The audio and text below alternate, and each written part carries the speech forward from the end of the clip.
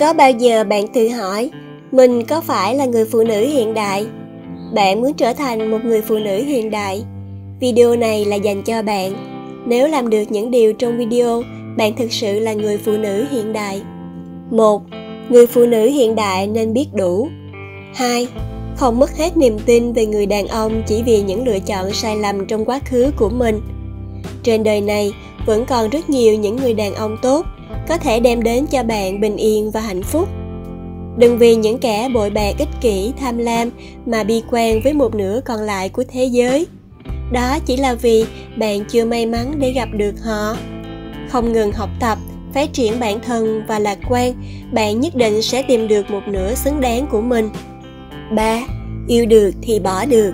Không cầu xin cũng đừng níu kéo trong tình yêu càng níu kéo, càng khiến mình trở nên thảm hại và không còn sức cuốn hút, càng khiến cho đối phương nghĩ rằng quyết định từ bỏ mình là đúng mạnh mẽ, bản lĩnh để bước tiếp con đường đến hạnh phúc đang chờ phía trước hãy buông bỏ một người không trân trọng, không hiểu được giá trị của bạn đừng nản lòng, gục ngã khi chưa chạm đến đích của hạnh phúc 4.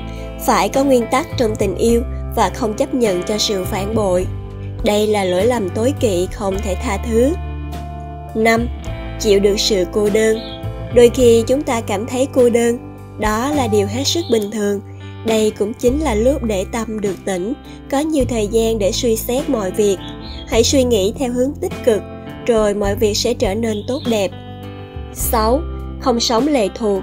Phụ nữ hiện đại phải tự chủ về tài chính, không cần giàu nhưng đủ khiến cho mình vui vẻ và hạnh phúc tự chủ trong mọi việc mà không phải lo lắng hay dựa dẫm vào ai mua những món đồ mình thích làm những điều mình muốn muốn vậy phụ nữ không ngừng trau dồi kiến thức để kiếm tiền có những mối quan hệ rộng rãi để tìm thấy một nửa của mình và ngày càng hoàn thiện bản thân hơn 7.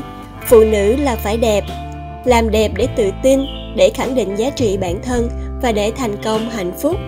Phụ nữ hiện đại luôn biết chăm sóc cho bản thân trân trọng yêu thương chính mình để rồi lan truyền những cảm xúc tích cực niềm vui cho những người xung quanh bởi phái đẹp là một nửa của thế giới làm cho cuộc sống này thêm nhiều màu sắc tươi đẹp 8. Dành thời gian cho vẻ đẹp vóc dáng Tham gia các lớp học yoga, thể dục thẩm mỹ, gym hoặc chơi các môn thể thao để rèn luyện sức khỏe và giữ gìn vóc dáng 9. Không tỏ ra quá mạnh mẽ phụ nữ là phái yếu, nên cần những giây phút yếu đuối để ai đó có thể làm bờ vai cho mình tựa vào, nhưng cũng cần mạnh mẽ để dám sống với những mong muốn, ước mơ, hoài bão. Dám đối diện với khó khăn, áp lực, dám từ bỏ những thứ không thuộc về mình, nhưng không có nghĩa là vô cảm, lạnh lùng và xa cách. 10. Không an phận. Phụ nữ hiện đại biết mình muốn gì và cần gì không an phận trong góc bếp như quan điểm xưa cũ mà được sống là chính mình. 11. Suy nghĩ tích cực Ai cũng muốn ở cạnh một người lạc quan và vui vẻ. Người lạc quan tích cực luôn gặp được may mắn dành cho mình. Cuộc đời vốn rất ngắn ngủi, đừng đánh mất khoảng thời gian quý giá này. Hãy trở thành phiên bản tốt nhất của chính mình. 12.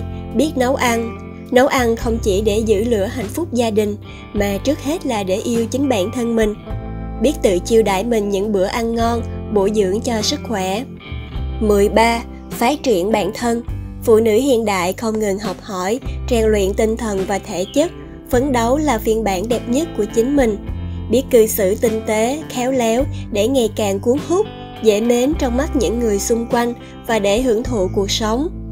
Phụ nữ hiện đại, đẹp trong cách ăn mặc, thanh lịch, trau chuốt cho đến cử chỉ dáng điệu nhẹ nhàng. 14.